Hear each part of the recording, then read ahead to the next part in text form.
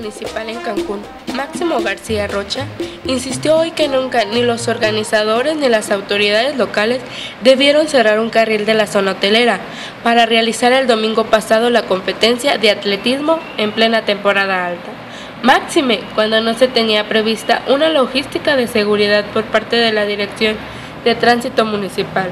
cuya negligencia derivó en el lamentable accidente donde perdió la vida una persona. Administración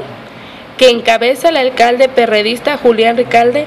no solo se llevará a cuestas el desorden y la quiebra financiera del ayuntamiento de,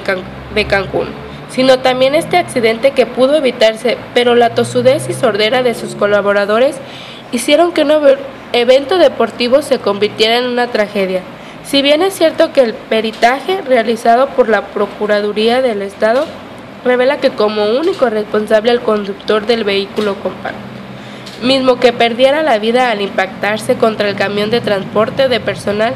También es cierto que no hubo señalamientos ni policías preventivos que indicaran el cierre de la circulación vial. Por ello muchos piensan que, tiene una, que tienen una coparticipación y corresponsabilidad en la tragedia. Funcionarios municipales como Julián Aguilar Estrada, regidor de Turismo en Cancún, no tiene otra postura más que lamentar la muerte del conductor y esperar la conclusión del peritaje. Para cancunpéndulo.tv, Mercedes Bueno.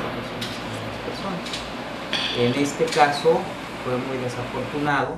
lamentamos mucho la pérdida de la vida de